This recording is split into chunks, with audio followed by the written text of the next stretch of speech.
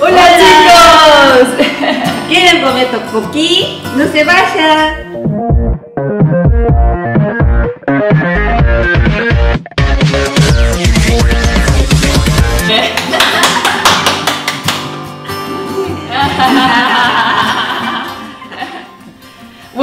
Bueno, ma, qué lindo que estamos nuevamente aquí. La verdad que el otro episodio de Kimchi que hicimos con mi oma fue un éxito. ¿eh? Así que les dije, mamá, ¿eh?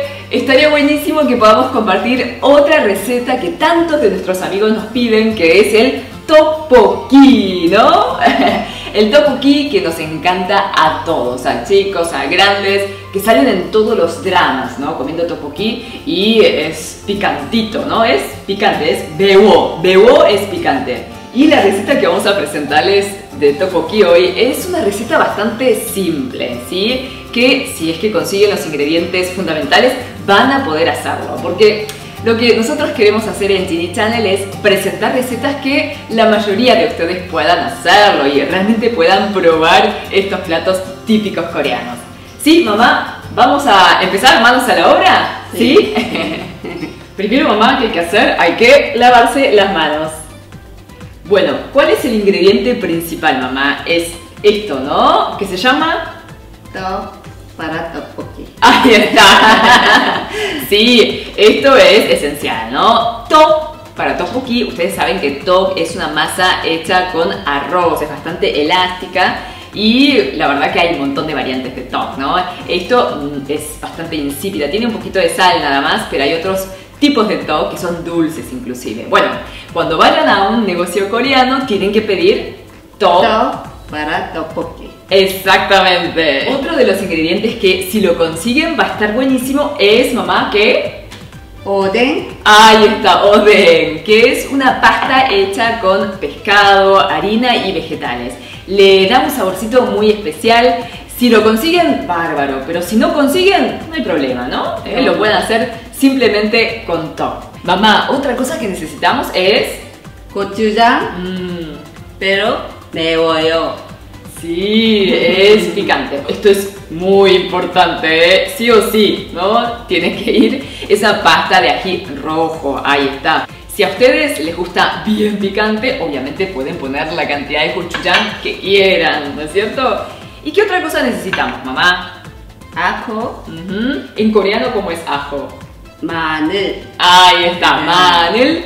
Acá le pusimos dos dientes de ajo, pero pueden poner más si les gusta el ajo, ¿sí? Y después tenemos soltan, sogum. Ahí está. Azúcar y sal, ¿eh? dijo mi oma en coreano. Y la verdad que esto también depende del gusto de ustedes, si les gusta más salado o más dulce, después lo van regulando. Bien, vamos a poner manos a la obra y tenemos el top para tteokbokki y viene así pegadito, ¿eh? Si quieren y tienen tiempo, ¿eh? quieren divertirse un poquito, pueden despegar así uno por uno, pero ¿qué es mejor, mamá? Primero cortar. Exacto, y después separamos, ¿sí? que es lo que vamos a hacer ahora con mi mamá, con mi oma. Ahí está. Y yo voy separando. Que de hecho esto se puede comer solo así, ¿no? Sí. Así. mm. o si le pone un poquito de azúcar, le queda dulce. Es casi una tortita, ¿no? Bueno, separamos y lo remojamos en agua fría para que no se vuelva a pegar entre ellos. ¿eh? A ver, entonces- ¡Qué rico! Bueno, Oma, algo que tenemos que explicarle a nuestros amigos es que si el tog estaba blandito, porque estaba muy fresco, no hace falta que lo dejen remojado mucho tiempo. ¿eh? De hecho, mejor colarlo ¿eh? después de unos minutitos, porque si no se hincha, se pasa. Ahora, si el tog estaba un poco duro porque estaba en la heladera, ¿qué conviene hacer? ¿Dejarlo remojado cuántos minutos, mamá? 5 o 10 minutos. Claro, sí. Bueno, ma- vamos al oden ahora, ¿sí? Cortamos en cuadrados o en los tamaños que ustedes quieran. Acá mi mamá lo cortó así, en este tamaño. Bueno, esto se puede comer crudo porque en realidad ya está frito, ¿eh? A ver qué sabor tiene. Está rico. Bueno, Oma, ahora sí, entramos en la fase del fuego. Tenemos una sartén bastante honda y hemos puesto agua a hervir, ¿sí? Eh, la cantidad de agua depende de las porciones, obviamente, pero para que tengan una idea, todos los top ¿sí? y los oden tienen que quedar sumergidos en el agua. Esperamos que el agua hierva.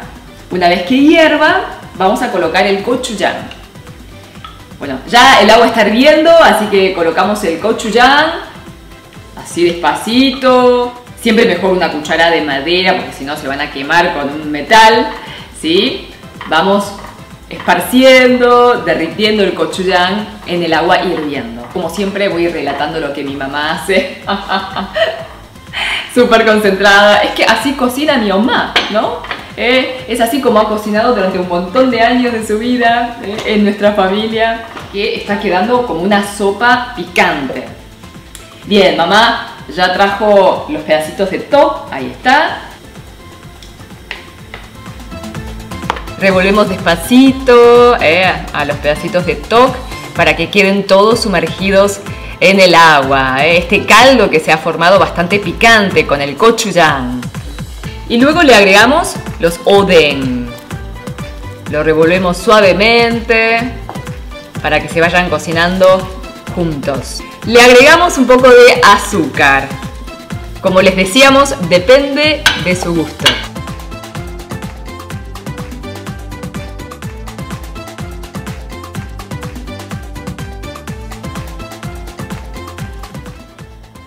Eh, la idea es que esto hierva fuerte y quede solamente el 20-30% de la salsa en la sartén, ¿sí? Ahí está, uh, ya se está espesando, ¿eh? inclusive el líquido. Y este es el mejor momento, mamá, ¿eh? para probar ¿eh? cómo está sazonado. Mm. Está muy bien, ¿eh? tiene bastante sal a nuestro gusto. Me atraganté. Recuerden que el top viene sazonado y el oden también tiene algo de sal, así que tienen que ir probando, ¿eh?